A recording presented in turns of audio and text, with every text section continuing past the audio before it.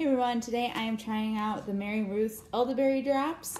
Um, so I'm gonna go ahead and open this now. It's perfect timing because there seems to be all sorts of stuff growing around in the winter.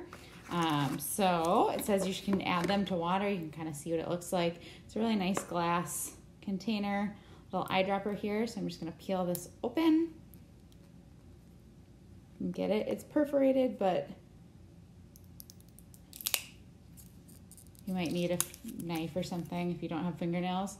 Anyway, um, that's what it looks like. Um, take one milliliter daily um, or 30 drops.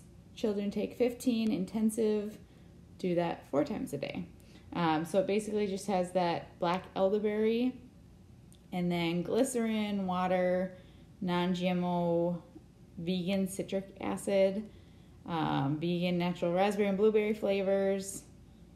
Yeah, that's it. So I don't entirely know how this um, works, but I'm trying to show you as I'm adding it to the water here.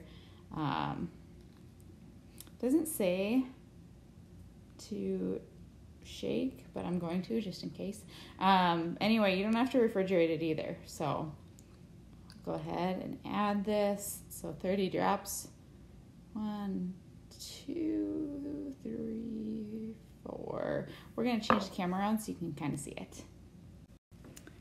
Five, six, seven, eight, nine, 10, 11, 12, 13, 14, 15, 16, 17, 18, 19, 20, 21. To get a little bit more can see it's turning a nice like reddish color. 23, 24, 25, 26, 27, 28, 29, 30.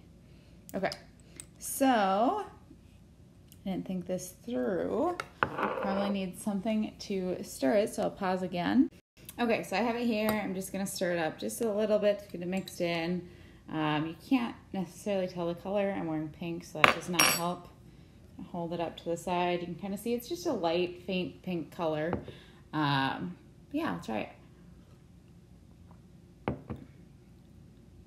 So it tastes like a really lightly flavored water, obviously, like, um, but it tastes like, I don't know, like an Aquafina or Dasani elderberry or raspberry or something, like berry flavored. Um, yeah, so it's a pleasant taste nothing special, but it's tastes better than drinking normal water. Overall, tastes good, easy to use, and we'll see how the immunity effects do. Thanks for watching.